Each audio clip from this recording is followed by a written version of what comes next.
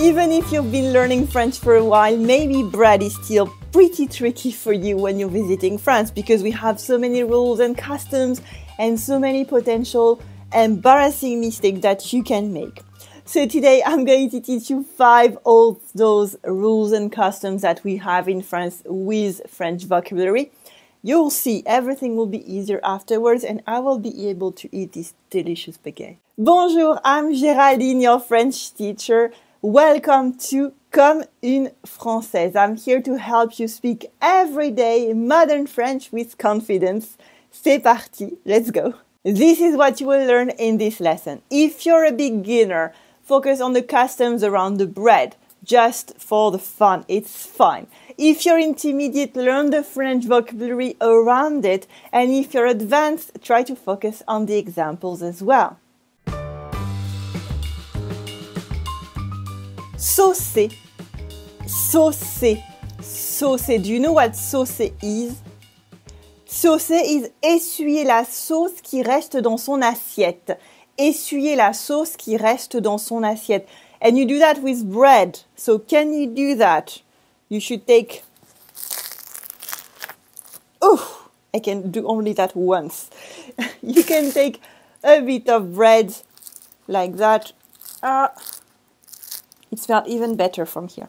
And you just wipe the sauce at the bottom of your plate. That's saucer. Saucer. That's to mop up the sauce from your plate in English. For example, j'aime bien saucer mon assiette après avoir mangé du bœuf bourguignon. With start. J'aime bien saucer mon assiette après avoir mangé du bœuf bourguignon. I like to mop up the sauce from my plate after eating bœuf bourguignon. Here, if you're advanced, you notice that once I made la liaison with après, and the second one I didn't, because you can do it or not, it's fine, okay? Just for advanced students out there. So can you do that? Yes, you can. It's fine. I mean, uh, if you're obviously invited to eat at the president's table at l'Élysée, his house, don't do it maybe. But if you're at my place, at a friend's place, it just shows that what you ate was really good. So I just asked my friends around me, would you do that? Should I tell my students they can? They said, yeah, you can. So you can do that with your fingers, avec les doigts, as we say in French, avec les doigts. So you take the piece of bread, that's a big one just for you to see, but you can take a smaller one. And you mop up the, the sauce from your plate, or you can put it uh, at the end of your fork, for example, and mop up like that. Avec une fourchette, as we say in French. So you can do that with les doigts, avec les doigts, just like that, or at the, at the end of a fork, avec une fourchette, like that. Okay? That's more polite at home I do it with bread because I love bread and I love sauce and I love showing my uh, hosts that I enjoy their meal. Now let's talk about another one that was suggested by one of my students uh, three weeks ago. I was doing a webinar and he asked me, can I do that? That's tremper. Tremper, for that I'm going to use another prop, that's un croissant. Hmm, un croissant from this morning because I bought it at the boulangerie on my way to the studio. So that's un croissant. Can I do that? Uh, dunk my croissant in my coffee in the morning? We say tremper son croissant dans son café. Tremper son croissant dans son café. So my mom is watching this lesson and she's very probably horrified because I will say, ah, yeah, you can do it. She hates it. My dad is not allowed to do this when she watches. I I'm not a big fan, but I did it uh, on Sunday because I, I got my best friend in the afternoon on Sunday afternoon for board games afternoon, and I made wonderful biscuits and she made uh, hot chocolate and I dunked my biscuit in the hot chocolate, which was so good. You can do it. It's very French. Again, don't do it when you're a very fancy place, but when you're at home alone with a few friends, you can absolutely do it. It's fine. It's supposed to be very French. So if you're in France, enjoy it, do it. Here's an example with tremper. Jeanne trempe toujours ses tartines de confiture dans son bol de chocolat au petit déjeuner. Jeanne trempe toujours ses tartines de confiture dans son bol de chocolat au petit déjeuner. I have to admit that I always do that with butter, bread, and a big bowl of soup. That's my favorite thing in the world. And if it is yours as well, you can say c'est trop bon. C'est trop bon. It's everyday modern French for it's really good. We say c'est trop bon, it's too good, but it's a way to say c'est très bon, it's very good. So c'est trop bon, it's delicious. C'est trop bon. And with un croissant, that smells so good, it's perfect. Our third example is a tricky one because it's not something that you can or cannot do. It's just a rule that I wanted to tell you about. It's about mettre le pain à l'envers. So uh, you can see here a baguette. That's l'endroit, the top, and that's l'envers, the bottom. Depending on what you like the most, you might like this part, this part of this part. It's really up to you. Uh, but the bread, you should not put it upside down. So, mettre le pain à l'envers is like that. Don't do that. And some people might tell you, quand je vois du pain posé à l'envers sur la table, je ne peux pas m'empêcher de le retourner. Quand je vois du pain posé à l'envers sur la table, je ne peux pas m'empêcher de le retourner. When I see bread upside down on the table, I cannot resist the urge to turn it up again.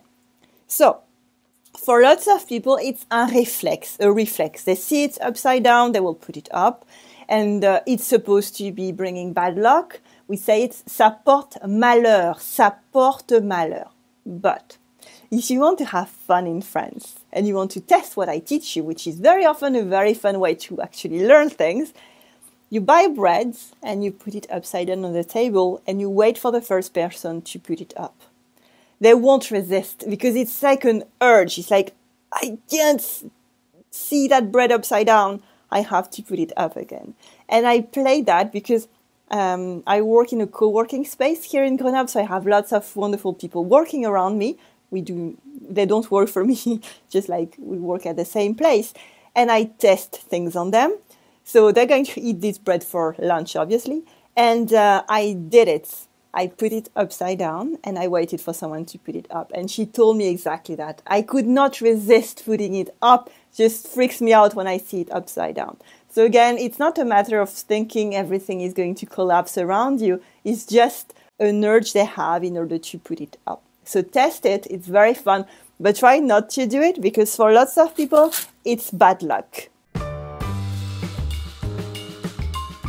Mettre une assiette à pain. This is a very quick example that I wanted to tell you about because um, in France we don't use uh, plates for bread. We don't use assiette à pain unless again you're in a super fancy, super, super fancy place. But usually people's places are not like that. So the tradition is put the bread, uh, your piece of bread, for example, I'm going to keep the one that I used before. Uh, you're eating the bread, you just put it on la nappe. La nappe is a tablecloth. It's usually clean, unless it's not, which you should not be dining there. Um, but you put your piece of bread on la nappe. La nappe. Le pain se pose sur la table. You put your bread on the table. Sometimes you might put it on the um, on your plate, like on the side of your plate depending on I don't know what you're eating. For example, you're eating cheese, you put your your your bread on the plate because you're eating both at the same time. But the idea is that there's no uh, bread plate in France. It's not a mistake of putting if you're putting any, but it's just not a use that we have. However, we put the bread in la corbeille à pain. La corbeille à pain is the bowl where you put the bread. You cut it and you put the bread in it, and everybody can help themselves with bread. La corbeille à pain. And at last, something that drives me crazy when I say it. I saw my partner do it once. I almost left him in the middle of the street. Let's croquer le bout de la baguette. Croquer le bout de la baguette. Never ever do that. And never do that in front of me croquer le bout de la baguette. When you're buying bread and you're coming back uh, home, on your way you can eat some bread. That's fine, and same at home. Uh, but you never eat it like that. Ah, not going to put my lipstick on the bread. Ah, never do that. What you do is what I did at the beginning, you just put both of your hands and you cut yourself a piece of bread. And also it shows that the bread is good because you can actually do it. And the fun thing is I usually tell my students, um, when you're in France and you have a boulangerie, I'm going to take the bread again, look at how it comes home. If you have the end missing, it usually shows that it's good bread because you cannot resist eating le quignon. Le quignon is this part, the end. Le quignon, we also call it le crouton, depending on who you're talking to. They're equal, just regionalisms. Le crouton or le quignon, it's the end. And usually, for me, it's a sign of good bread. I cannot at all resist eating the end. Um, to me, it's a sign of a good baguette. But again, never do ah, no, ever. I've seen that uh, twice on YouTube recently. It horrified me because it's like, ah, I think it's disgusting to do that. And I saw that in um, in a program on Netflix as well, and that did not make me happy at all because the, it didn't show something that French people were doing. And uh, if you want to cut the bread at home in order to put it in la corbeille à pain, you might use un couteau à pain. Un couteau à pain is a bread knife. It has like little um, teeth in it. Un couteau à pain. Un couteau à pain that you might use at home in order to cut the bread properly and put it in la corbeille à pain. This is what you should do if you have une corbeille à pain. So what did you learn today? We saw saucer la sauce de son assiette. Saucer la sauce de son assiette, which is to mop the sauce from your plate. Tremper son croissant dans son café. le croissant, le café. That's a lovely cup that a student sent me, which I love. So you could you can do it if no one is watching or if no one is offended by that, but it's really a matter of taste. Just depends on the people. It's supposed to be very French. Tremper son croissant dans son café. We have also mettre le pain à l'envers. Don't do that because it's bad luck. Mettre une assiette pour le pain mettre une assiette pour le pain, to put a plate, especially for the bread.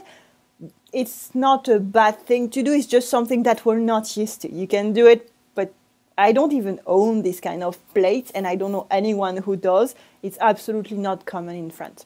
And at last, croquer le bout de la baguette, so ah, like that, never. It's just, ugh, it's disgusting. just cut it with your hands and eat a little piece of bread. If you love French food, check out this short playlist that I put together for you. It has lots of elements about French food that you will love. I will see you in the next video. À tout de suite. See you there.